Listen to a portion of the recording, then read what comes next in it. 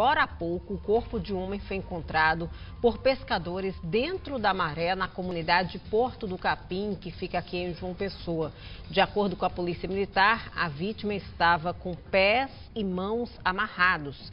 Ainda segundo a polícia, a informação de que teria um corpo nesse rio foi recebida ontem, mas só pode ser confirmada hoje porque a maré baixou. A Polícia Civil já está no local, mas a vítima ainda não foi identificada. Então, é uma notícia que chega agora há pouco para a gente aqui, para a gente passar para vocês de casa. E os funcionários dos Correios